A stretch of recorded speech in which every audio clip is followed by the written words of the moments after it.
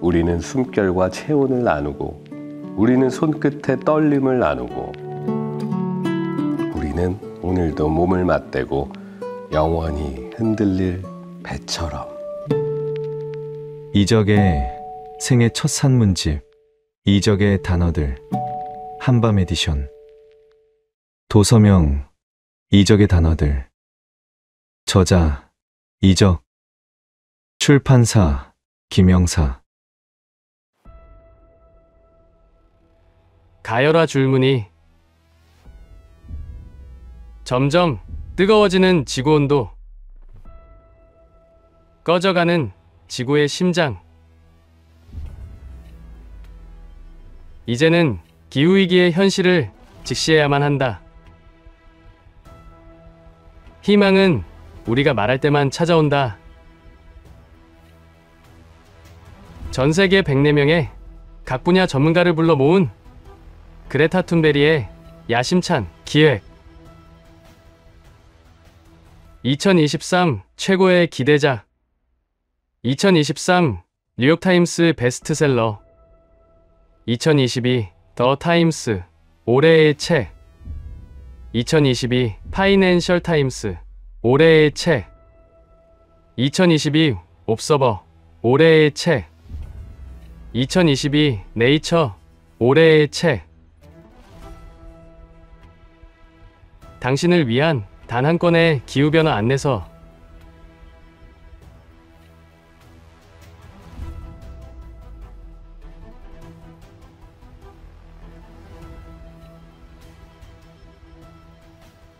도서명 기후책 저자 그레타 툰베리 출판사 김영사.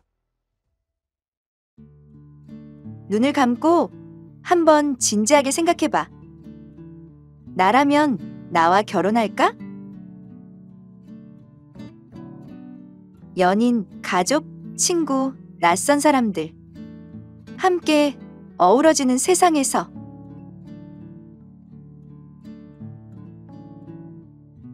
때론 선물 같은 또 때론 가시 같은 사랑과 이별. 누군가는 깊은 상처, 또 누군가는 더 큰 성장.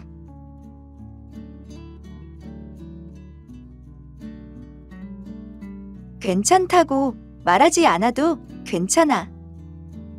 당신의 위로는 이상하게 힘이 나니까.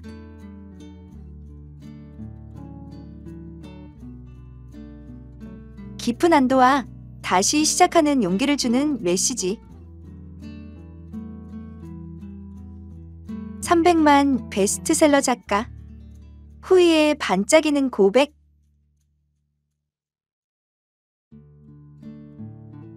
맘대로 사랑한 건 나니까 넌 내 맘대로 해.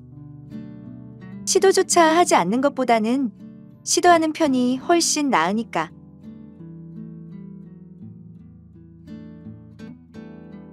사랑하는 법을 몰라도 괜찮아. 우리가 먼저 사랑하면 돼.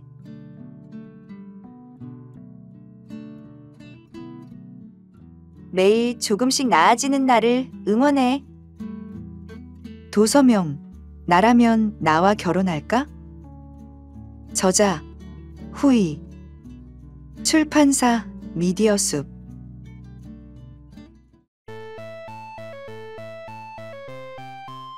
경제적 자유를 이루고 싶다면 지금 당장 미래 문화를 공부하라. 문화를 통한 고수익 투자 공부법. NFT, 메타버스, 블록체인이 만들어가는 새로운 시대, 미래 문화의 흐름을 알면 투자의 길이 보인다. 가장 이상적인 투자에 대해 누군가는 안정성을 더 중시할 수도 있고 또 누군가는 리스크를 안더라도 평균 이상의 수익률을 추구할 수도 있다. 미래 성장 가능성은 크지만 아직 많은 이들에게 알려지지 않은 숨은 진주 같은 기업을 찾아야 한다. 투자자는 앞으로 각 분야의 문화가 어떤 변화를 보이고 가장 유행하는 흐름이 무엇이 될지 예측할 수 있는 안목을 길러야 한다. 앞날을 예측한다는 것은 힘든 일이지만 변화에 민감하게 반응하는 것은 매우 중요한 일이다. 블록체인이 어떤 파급력을 미칠지 예측할 수 있는 능력이 있었던 이들은 비트코인을 저가일 때 사들여 지금은 헤아릴 수 없는 불을 이뤘다. 세상이 바뀌고 있고 문화도 급격한 변화를 겪는 중이다. 세상이 변하면 투자자도 변해야 한다. NFT, 메타버스, 블록체인 등이 인간의 생활에 미칠 영향과 그로 인해 거대 자본이 몰려갈 방향을 알고 향후 투자의 방향을 잡아야 한다. 역사, 문학, 미술, 음악, 영화, 게임 등 모든 분야의 문화를 바꾸는 새로운 부의 탄생. 글로벌 인터넷 기업들이 앞다투어 메타버스로 달려가고 있다. 디지털 미래 문화를 모른 채 투자를 논하지 마라. NFT, 메타버스, 블록체인이 바꾸는 돈의 미래에서 기회를 잡아라. 미디어숲, 미래의 부를 위한 투자 공부였습니다.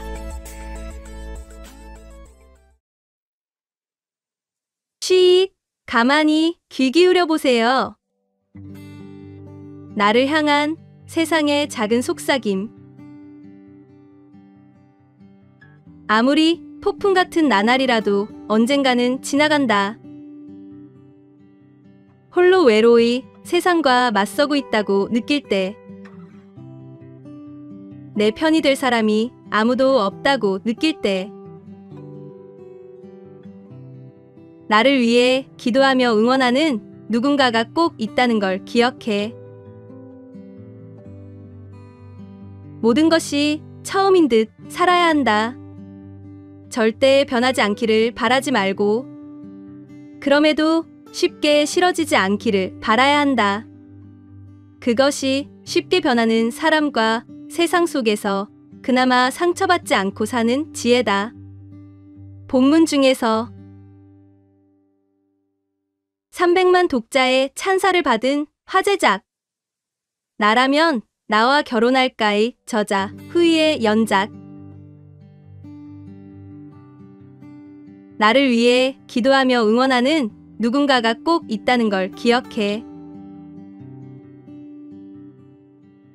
미처 보지 못하고 알지 못하는 곳에서 나를 응원하는 작은 목소리.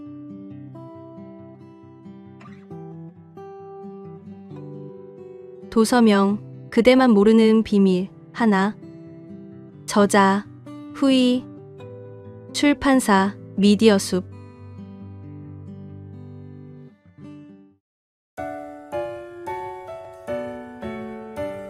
분노 뒤에는 진짜 감정이 숨어 있다. 분노를 직시하고 이해하고 전환하라. 분노는 나쁜 일이 아니며 분노를 무조건 억누르거나 분출하는 것이 아니라 자신의 분노를 이해하는 것이 먼저다. 분노하는 이유와 그 이면에 충족되지 못한 감정을 이해하다 보면 분노는 삶의 에너지로 전환될 수 있다. 내 안의 분노를 이해하면 화가 나는 횟수가 줄어들고 내면의 진짜 감정을 들여다보고 이를 충족시킬 합리적인 방안을 찾아낼 수 있다. 분노의 배후에 숨어 있는 여섯 가지 원인 감정. 상대방이 나의 규칙을 어겼으니 이를 평가하면서 화를 낸다. 자신의 기대나 바람에 상대가 응하지 않으면 화를 낸다. 분노는 상대방이 아니라 사실 자신을 향한 요구다. 자신이 정한 기준을 스스로 지키지 못해서 화를 낸다. 지금 내가 무력하기 때문에 상대방도 자신의 무력감을 느껴야 한다. 내 감정에 공감해 달라고 화를 낸다. 나와 상대방 모두가 더 심각한 위험을 만나지 않기를 바라며 화를 낸다. 내가 상대방을 사랑하기 때문에 상대방도 나를 사랑하길 바라며 화를 낸다. 600만 명이 선택한 위로와 성장의 다독임. 자신의 내면을 이해하면 분노는 더 이상 불편한 감정이 아니다. 튼튼하게 구축한 정서적 방파제 안에서 마음껏 분노의 자유를 누릴 수 있다. 분노라는 가면을 쓴 진짜 감정 6가지. 미디어 스펙, 심리학이 분노에 답하다였습니다.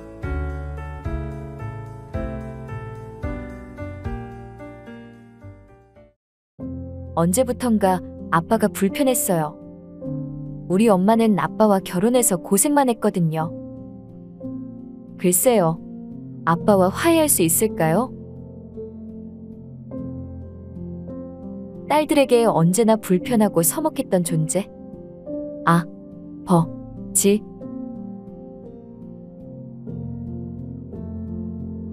무표정한 얼굴로 자주 술에 취해 흔들리던 아버지의 인생.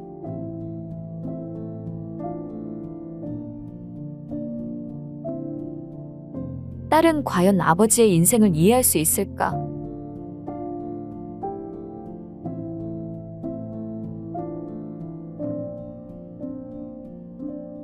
마흔 넘은 딸이 건네는 백 가지 질문. 여든 넘은 아버지가 건네는 뒤늦은 대답. 그렇게 조금씩 알게 된 아버지의 인생. 그리고 화해의 순간 찾아온 예고 없는 이별.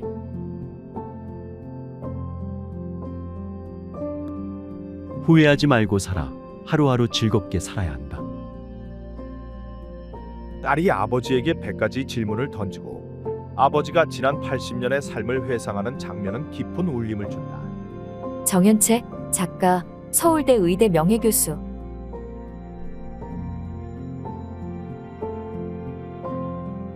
우리가 외면하고 놓쳐버린 아버지라는 존재의 초상. 아버지는 변명하지 않는다. 다만 사라질 뿐.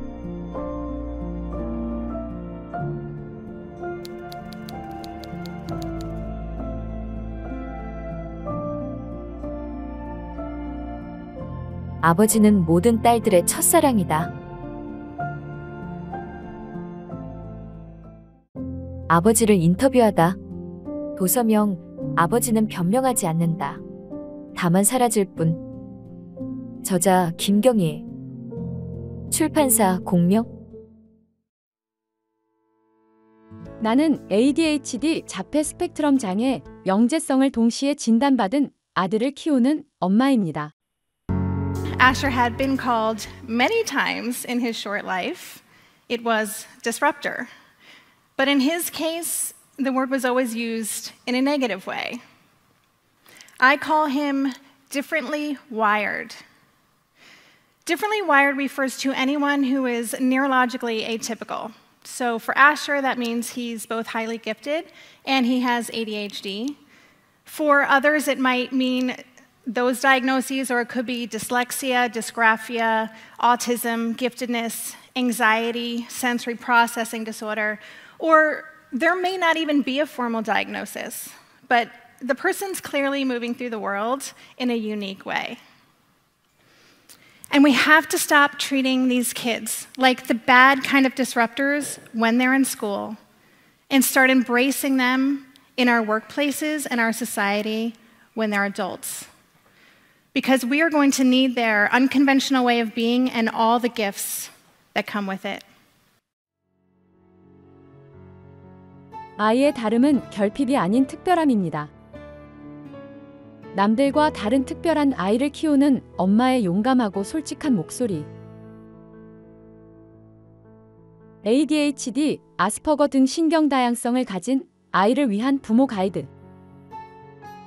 도서명, 우리 아이는 조금 다를 뿐입니다. 저자 데보라 레버. 출판사 수호서재. 전 세계에 흩어져 있는 독립운동 사적지와 후손들을 기록하는 사진작가 김동우 인도, 멕시코, 쿠바, 미국, 러시아, 네덜란드, 카자흐스탄, 우즈베키스탄, 중국, 일본 잊혀가는 독립운동의 빈칸을 메우기 위한 여정 독자적으로 이 일을 좀 해봐야겠다. 뭐 이렇게 결심한 계기가 좀 있습니까? 조상들이 얼마나 이제 피와 땀으로 일군 나라입니까? 그렇죠. 예, 그래서 이 일을 누군가는 좀 해, 해야 되겠다는 저 생각을 했습니다. 예. 인도 델리 레드포트에 파견된 9명의 한국 광복군 인면전구 공작대 멕시코 쓰라린 역사의 현장. 애니깽 농장. 멕시코 한인무관 양성기관. 숭무학교. 미국 윌로우스의 임시정부 공군 훈련터. 한인 비행사 양성소. 배우지도 들어보지도 못한 역사였다. 시간에 파묻힌 독립 영웅들을 찾아 전 세계를 돌다. 독립운동가 김익주의 후손 다빗 킴 멕시코 멕시코시티 독립운동가 이윤상의 후손 레오노르 이파 쿠바 카르데나스 안창호의 막내 아들 랄프 안 미국 로스앤젤레스 자유, 평화, 인권. 인류의 보편적 가치를 추구한 독립운동가들의 각별한 삶의 흔적. 한철호, 동국대 역사교육학과 교수. 가슴이 뜨거워진다. 언젠가 이름 모를 그의 묘지를 찾아 꽃 한 송이를 채워드리고 싶다. 유준상 배우 역사는 기억 투쟁이다. 지금의 나와 우리를 있게 해준 역사. 역사를 기억하는 것, 그것은 살아있는 자들의 예의다. 최태성 한국사 강사 나라가 뭐라고 이렇게까지 하셨을까 싶은데 또 그분들 때문에 지금 있는 거고요. 이게 우리가 다 부채감을 가져야 돼요. 국외 독립운동 이야기 뭉우리돌의 바다 이제껏 알지 못했지만 생생하게 존재했던 역사의 현장. 그 시간을 기억해야 하는 이유. 국외 독립운동 이야기. 도서명 뭉우리돌의 바다. 저자 김동우 출판사 수호서재. 소통 수업, 출간 기념, 특별 강연. 언어의 진심을 담는 기술, 소통에 대하여 안녕하세요. 김수인입니다. 현재 휴먼 컴퍼니 대표, 현재 김창욱 아카데미 원장, 전 도쿄올림픽 국가대표 심리상담사, 소통 수업 김수인 원장. 오늘 소통 수업이라는 책을 가지고 여러분들을 이렇게 만나게 돼서 정말 반갑습니다. 제가요, 10분 미니 강연을 좀 준비해 봤는데요. 여러분들은 이 기러기의 여정에 대해서 들어보신 적 있으신가요? 기러기는 먹이와 따뜻한 곳을 찾아서요, 4만 킬로를 비행한다라고 해요. 서울에서 뉴욕까지 거리가 만 킬로밖에 안 된다고 하거든요. 이 지구 한 바퀴를 도는 게 4만 킬로라고 해요. 그러면 엄청난 거리를 비행하는 것과도 같죠. 그렇다면 이 긴 여정을 혼자서 감당해낼까요? 그렇지 않다고 합니다. 이 기러기의 여정에는요, 몇 가지 비밀들이 있습니다. 첫 번째가요, 기러기는 우리 V자 대열 있잖아요. V자 대열을 가지고서 날아간대요. 그러면서 끊임없이 울음의 소리를 낸다고 하거든요. 이것은 앞에 있는 리더를 향한 지지와 응원의 울음소리라고 하는데요. 혼자 날아가는 것보다 약 70% 정도 더 멀리 날아가는 효과가 있답니다. 그러다가 리더가 좀 지치거나 힘이 들면 대열을 좀 이렇게 바꿔준대요. 그리고는 또 다른 리더에게 지지와 응원을 계속해서 해주는 거죠. 만약에 기러기 중에 부상을 입거나 상처를 입게 되면요. 그 기러기만 대열에서 이탈하게 방치하지 않는답니다. 몇 마리의 기러기가 함께 그룹을 이탈해서요. 그 기러기가 다 나을 때까지 혹은 생을 마감할 때까지 그 자리를 지켜준답니다. 제가 강연을 하면서 이 기러기의 여정에 대해서 말씀을 드리면요. 크게 두 가지 반응이 있어요.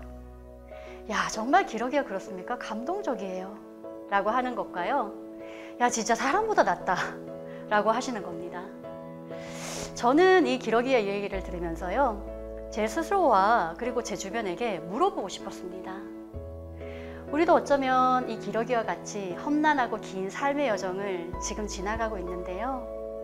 함께 지지받고 지지해주면서 가고 있는지 아니면 의도치 않게 응원받지 못하고 지지받지 못하면서 외롭게 홀로 가고 있는지 하는 거죠. 우리에게 관계라는 것은 정말 중요합니다. 그리고 이 관계에 있어서 중심에 있는 소통이라는 것을 어렵지만 해야 하죠. 강의를 하면서 또 많이 듣는 말 중에요. 이런 말씀들이 있어요. 아니, 하라는 대로만 하면 될 줄 알았고, 그냥 열심히만 하면 될 줄 알았는데, 아니면 참으면 될 줄 알았는데, 아니, 지금 와서 보니까 내 자신도 돌보지 못했고, 내 주변 사람들도 너무 돌보지 못해서 억울하다는 거예요. 안타깝게도 우리는 소통하는 방법, 이 관계 맺는 방법을 훈련받지 못하고 안내받지 못하고 사회에 나오게 되죠. 그러다가 그냥 마냥 우왕좌왕 하다가 각자의 방식으로 소통을 하게 됩니다. 그러면서 결국은 말을 좀 아끼게 되고요. 자기 혼자 있는 게 어느새 편해지게 됩니다. 그러면서 의도치 않게 자신을 고립시키고요. 또 어떤 때는 이게 너무 중요하거든요. 그러다 보니까 막 너무 강하게 전달하다 보니까 상대방이 너무 일방적이다, 공격적이다, 권위적이다 라고 하면서 상처를 입었다라고도 하죠. 소통에는요, 단계가 있습니다. 음? 소통에 무슨 단계가 필요해? 그냥 말하는 거 아니야? 복잡하게. 이렇게 말씀하실 수도 있는데요. 그렇습니다. 어, 우리를 알아차리는 인지 단계고요. 그 다음에 인지해낸 것을 표현하는 단계고요. 그런 다음에 이 표현한 것을 조율하는 이 세 가지의 단계죠. 어떤 사람은 또 인지 단계에서 어려움을 호소하기도 합니다. 내 마음이 좀 어떤 건지, 내가 지금 뭘 원하는지를 알아차리는 게 너무 힘든 거죠. 그러다 보니까 이런 내가 상대를 알아주기란 힘든 것은 당연할지도 모릅니다. 아니면 마냥 자기는 뒤로 한 채 자꾸 상대방만 알아주려고 애를 쓰다 보니까 지치고 억울하게 되기도 하죠. 이 인지 단계에 있어서 중요한 것은요. 감정과 욕구를 잘 다루는 겁니다. 그렇다면 우리는 우리의 이 마음, 감정을 잘 다루고 있을까요? 우리가 의도치 않게 감정을 잘 못 다루게 된 큰 이유 중에 하나가요. 바로 감정에 대한 이분법적인 사고 때문입니다. 이 이분법적인 사고라는 게 뭘까요? 지금 보면 이 세상에 굉장히 많은 색깔들이 있잖아요. 근데 이 색깔로만 봐도 그냥 검은색 혹은 흰색 이 두 가지로만 그냥 나눠버리는 거죠. 많은 경우의 수를 가지고 두 가지로만 보는 겁니다. 이것을 감정에다 좀 빗대어 보자면요. 내가 기분이 좋고 기대가 되고 홀가분하고 재밌고 그런 것들 우리는 다 좋은 감정이라고 이렇게 나눠버리고요. 우울하고 뭔가 화가 나고 짜증이 나고 답답하고 이런 감정들을 다 나쁜 감정이라고 이렇게 구분을 해버리는 거죠. 그러면서 자기 자신에게 끊임없이 좋은 감정만 느끼게끔 강요를 하는 겁니다. 그러다가 그러지 못한 자신을 자책해버리기도 하고요. 자신의 이 감정을 숨기기 바쁜 거죠. 이렇게 우리 감정을 다루게 된 우리는요. 당연히 상대방의 감정을 있는 그대로 온전하게 건강하게 받아들이기가 쉽지는 않겠죠. 그러다 보니까 혹여나 이 상대가 부정적이다라고 하는 나쁜 감정을 비칠 때 우리는 어떻게 하나요? 아, 왜 저렇게 하는 거야? 아, 정말 문제네?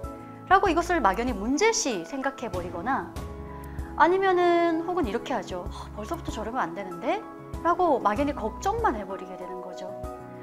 그러다 보니까 상대가 원하지도 않았는데 자꾸 판단하고 해결해 주려고 다가가거나 혹은 상대를 비난하고 이렇게 자꾸 상대를 멀리 하게 되죠.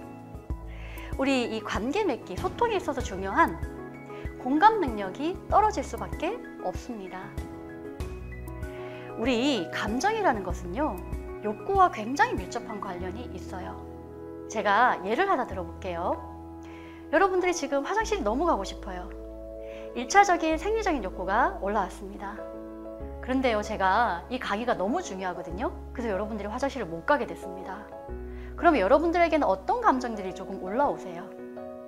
뭔가가 답답하기도 하고, 불안하기도 하고, 찝찝하기도 하고, 뭔가 초조하기도 할 겁니다. 그런데 때마침 제가 강의를 마쳤어요. 그래서 여러분들이 이제 화장실을 갈 수 있습니다. 그러면 여러분들은 좀 어떠세요? 뭔가 시원하죠? 뭔가 홀가분합니다. 편안해지고, 어, 모든 게 평화로워집니다. 이렇듯이요, 이 감정이라는 것은요, 내 이면에 있는 이 욕구가 채워졌는지 아니면 그렇지 않은지를 알려주는 신호와도 같습니다. 그래서 우리가 이런 감정이라는 신호를 받을 때는요, 이 이면에 있는 욕구를 찾아서 채워 넣는, 충족시키는 과정이 필요한데요. 거기에 있어서 중요한 것은 바로 표현입니다. 이 표현이라는 게요, 또 어떻게 보면 정말 어렵습니다. 왜냐하면 우리가 이 표현을 하는 걸 제대로 배워본 적이 없거든요. 우리가 그나마 배울 수 있었던 유일한 대상이 우리의 부모였는데요. 우리의 부모도 역시 안내되거나 교육되거나 훈련되지 못했고요. 어쩌면 더욱더 그들은 자기 자신에 대해서 뭔가를 알아채기보다는 그 상황에서 자신이 어떤 역할을 해야 되는지 어떤 말을 해야 되는지가 더 중요했고 강요받아 왔기 때문에 더 이 표현이 어색하고 어려울 수밖에 없었죠. 그리고 우리 이런 경험도 했을 거예요. 같은 이야기인데도요, 내가 어떻게 표현을 하느냐 따라서 상대가 받아들이는 게 정말 달라지는 경험이죠. 그래서 이 표현에 있어서 중요한 것은요, 언어 능력하고 소통 능력이 정말 다르다는 것을 명확하게 하는 겁니다. 언어 능력은요, 말 그대로 언어를 구사하는 거고요. 소통 능력은 이 언어를 가지고 표현하고 전달해서 우리가 서로 관계를 이렇게 좀 잘 맺어가는 능력인 거죠. 어, 소통을 하고 싶어 하면서요, 이 자꾸 언어에만 집중하는 경우가 참 많거든요. 어떻게 하면 내가 좀 더 조리 있게 말을 해야 될지, 어떻게 하면 내가 좀더 설득력 있게 말할 수 있을지, 어떻게 하면 좀 더 내가 똑부러지게 말을 할지, 그런 것에 좀 더 중점을 두고 고민한다라는 거죠. 불통을 겪는 사람들의 가장 흔한 레파토리가요. 내가 어디 틀린 말 했어? 라는 거거든요. 근데 틀린 말이 아닌데, 맞는 말인데 왜 불통을 호소했을까요? 소통에 있어서 정말 중요한 말 이전에 이 마음의 연결이 되지 않았기 때문입니다. 이 마음의 연결이 중요한 이유는요. 우리가 상대가 내 마음을 좀 알아주잖아요. 그러면 우리 상대의 말을 좀 받아들이려고 하는 해석 능력을 발휘하게 되거든요. 제가 이 소통이라는 것을 여러분들은 뭐라고 생각하세요? 라고 물어보면 함께하는 것, 공감하는 것, 혹은 들어주고 주고받는 거라고 이야기하시는 경우가 많거든요. 공통점이 이 마음이 안 빠진다는 거예요. 그렇다면 우리가 현실에서 소통을 하기 위해서 나 자신과 상대의 이 중심에 있는 마음을 잘 다루고 있는가라는 것을 질문해 볼 수 있는데 아니라는 거죠. 우리는요, 인정받고 싶어 합니다. 확인받고 싶어 하고요. 공감받고 싶어 합니다.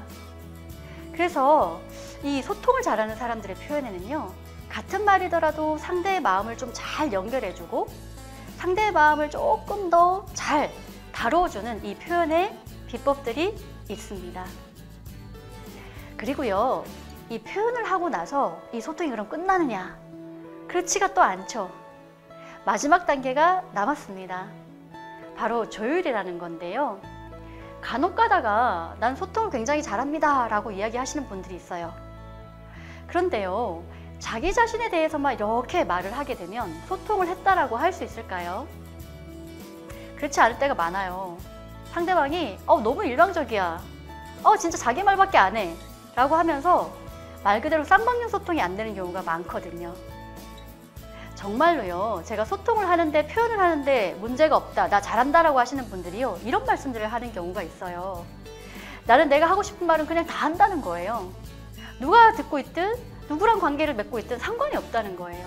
그래서 나는 굉장히 소통을 잘한다라고 생각을 한다는데 조율이 빠졌습니다. 우리는요. 내 표현을 하고요. 그리고 상대의 표현을 이렇게 들어서 우리 각자의 입장을 가지고 고려를 해서 조율해 나가는 이 단계가 필요합니다.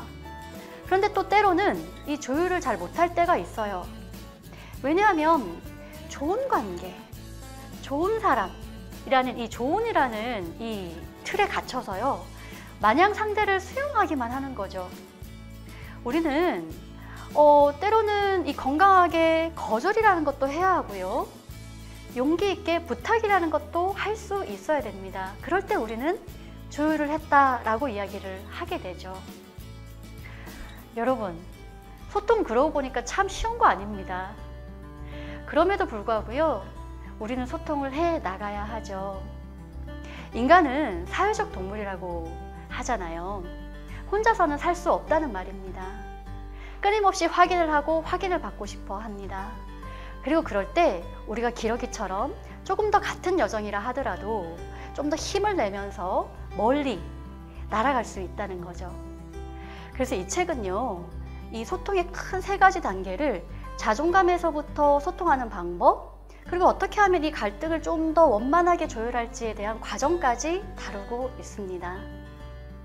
이 개인과 조직의 영원한 화두가 소통이잖아요. 그렇지만 우리가 조금만 더 안내되고 훈련되어진다면 분명 예전과는 다른 내 모습을 발견하실 수 있을 거라고 말씀드리고 싶어요. 마지막으로는요, 나 이거 이미 다 알고 있어. 다 해봤는데 안 되더라. 라고 의심하거나 걱정하지 마시고요.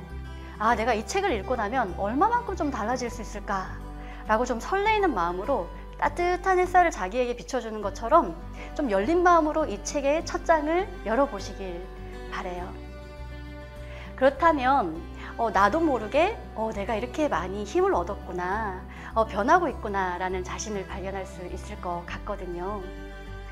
그리고 이 책의 중간중간에 나오는 잠시 멈추고 질문하기라는 것을요, 그냥 지나치지 마시고요. 조금 책을 더디게 읽게 되신다고 하더라도 여러분들이 워크북을 하시는 것처럼 좀 혼자서 훈련하시는 것처럼 꼼꼼하게 이렇게 좀 하고 지나가시면은요.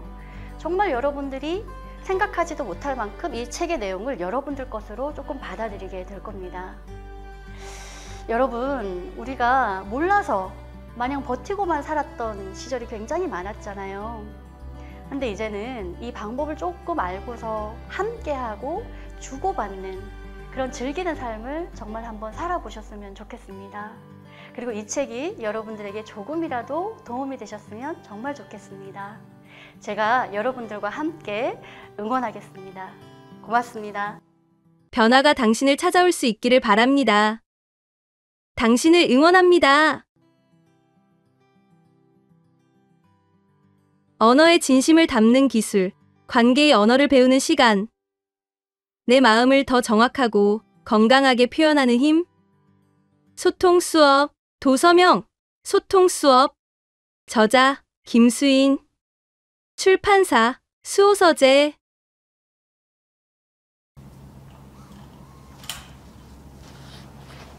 계절 산문 박준 3월 산문 봄의 스무고개 여리고 순하고 정한 것들과 함께입니다. 살랑인다, 일렁인다, 조심스럽다라고도 할 수 있고 나른하다, 스멀거리다 라는 말과도 어긋남이 없습니다.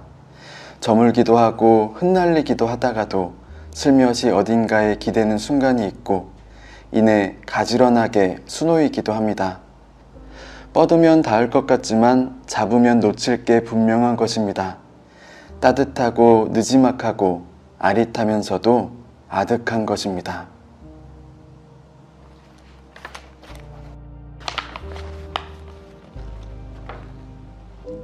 계절 산문 박준 여름 자리 낮이 분명하게 길어졌습니다. 저는 하루 종일 저의 하루를 살아가느라 이렇게 지쳤는데 어둠은 조금 전에야 막 드리워지기 시작했습니다. 허정허정 집으로 돌아오는 길의 초입에는 어느 집 담장 너머 만발한 능소아들이 이정표처럼 서 있습니다. 이 길이 제 집으로 가는 길이 맞는다는 듯이 혹은 지금부터가 여름이라는 듯이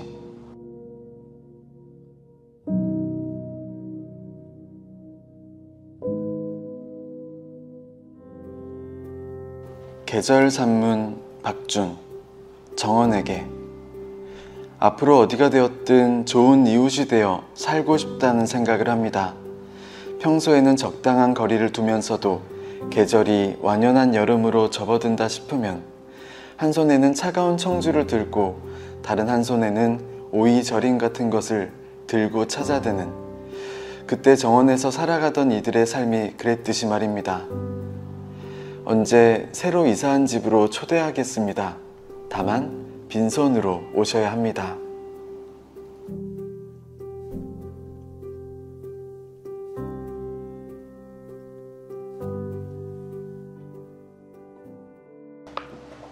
계절 산문 박준 10월 산문 분명한 것은 짧은 기간의 교류든 평생에 걸친 반려든 우주의 시간을 생각하면 모두 한철이라는 것이고 다행인 것은 이 한철 동안 우리는 서로의 가장 아름다운 모습을 잘도 담아둔다는 것입니다. 기억이든 기록이든 이제 첫서리가 내린다는 상강도 지났습니다. 음력 9월에 드는 24절기의 하나로서 말 그대로 서리가 내리는 시기를 뜻하는 절기. 아름다운 우리의 가을날이 또 이렇게 가고 있는 것입니다.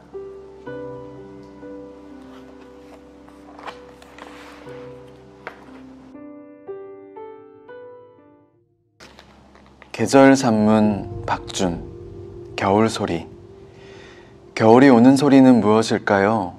불어오는 바람 소리일까요? 조금 열린 창문을 다시 꼭 닫는 소리일까요? 손등에 마른 입술을 비벼보는 소리일까요? 립밤을 바르고 윗입술과 아랫입술을 붙여 말았다가 한 번에 밀어내는 소리일까요? 거리의 종소리일까요? 서둘러 걷는 행인들의 발소리일까요? 이르게 온 저녁과 오래 머무르는 어둠 사이 고요의 소리일까요? 지난 이야기들 소리 없이 떠오르는 소리일까요? 주말에 뭐해? 라는 메시지가 도착한 휴대전화의 알람 소리일까요? 이 모든 소리와 소리들, 그 위로 소리도 없이 곧 내릴 눈, 그 눈을 보려고 내가 다시 눈 뜨는 소리일까요?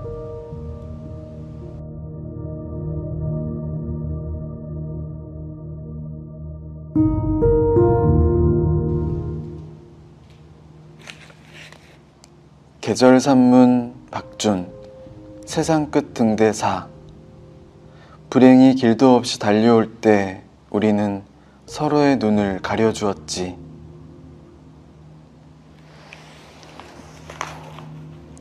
살아가면서 좋아지는 일들이 더 많았으면 합니다. 좋은 것들과 함께라면 저는 은근슬쩍 스스로를 좋아할 수도 있을 테니까요. 박준 산문집 도서명 계절 산문 저자 박준 출판사 달 누구도 뚱뚱한 몸매를 원하지 않으며 모두가 날씬해지고 싶어 한다. 우리 대부분은 게으르지 않고 무작정 먹어 대지도 않는다. 그런데 왜 우리 중 3분의 1은 명백하게 비만이고 절반은 과체중이며 당뇨병은 유행병 수준일까? 우리가 최선을 다해 노력했는데도 과체중인 이유는 비만의 원인을 잘못 알았기 때문이다. 저탄고지 바이블은 비만의 실제 원인과 극복 방법을 알려준다. 의학 박사 제프리 거버는 체중 증가와 감량의 과학적 원리를 의료공학 엔지니어 아이비 커민스는 식욕과 체중을 조절하는 중요한 피드백 회로를 각각 파고들었다. 두 사람이 스스로 체중 감량에 성공하면서 얻은 결론은 기존의 식욕과 체중 조절 체계를 개선해야 한다는 것. 즉, 최고의 다이어트는 탄수화물이 적고 건강한 천연 지방이 많은 저탄고지 식단이다. 하나, 탄수화물을 버려라. 둘, 영양가 높은 단백질을 적당하게. 셋, 천연 지방은 건강에 필수적이다. 할 수 있다면 간헐적 단식도. 한마디로 가공된 탄수화물을 먹지 마라. 이게 전부다. 지금 즉시 당신 주변에 있는 빵, 과자, 다이어트 스낵바를 내버려라. 그리고 이 모든 것의 목표는 항상 인슐린을 낮게 유지하는 것. 지금 당신이 손에 든 이 책은 다양한 경험의 결과물이다. 여기에는 진정으로 삶을 변화시키는 귀중한 정보가 엄청나게 많이 담겨 있다. 이 책은 과학적 근거를 기반으로 저탄고지 식단을 해야 하는 절대적인 이유를 안내한다. 하지만 이것으로 끝내지 않고 실전으로 옮길 수 있는 자세한 방법과 조리법까지 수록하고 있다. 러브에코 건강 콘텐츠 크리에이터 이 책에서 놀라운 것은 두 저자가 한국에서 치료하는 저탄고지 방법들을 가장 가깝게 잘 설명해 놓았다는 점이다. 이 책이 한국의 저탄고지인들에게 많은 도움이 되길 바란다. 송재현 대한저탄고지식이협회 회장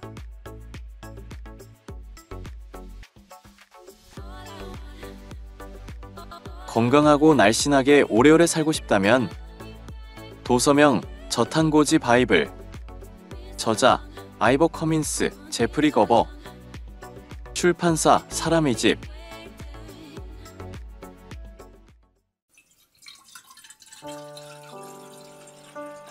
너와 이런 실없는 대화를 하면서 대부분은 웃어 넘기고 이상하게도 한 번씩은 마음이 미어질 때 나는 꼭 그곳으로 가야겠다는 생각을 한다면 믿어지니 내가 가야 할 곳이 장소가 아니라 시간이라는 것이 살아보고 싶은 미래가 나를 기다리고 있음이 생생하게 실감이 난다면 말이야.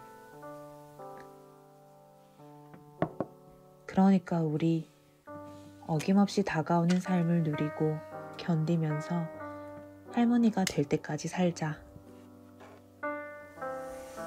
네가 사랑하는 사람들, 내가 사랑하는 사람들 여럿과 매듭 같은 팔짱을 끼고서 우리가 할머니가 된 시간으로 가자. 모쪼록 몸과 마음은 크게 다치지 말고 어느새 지나버렸는지 모를 세월을 지나서 그러다 어느 날 오래전 했던 말을 떠올려 말해보는 거야. 이것 봐. 네 곁에 있는 사람들이 모두 너를 향해 웃어주잖니.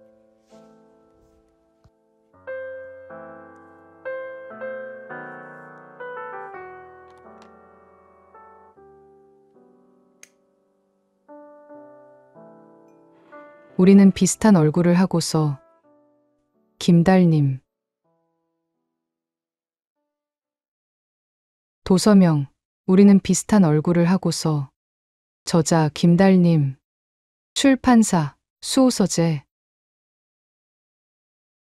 본 영상은 문화체육관광부 국립장애인 도서관의 수어, 음성 지원을 받아 제작, 재구성한 것입니다.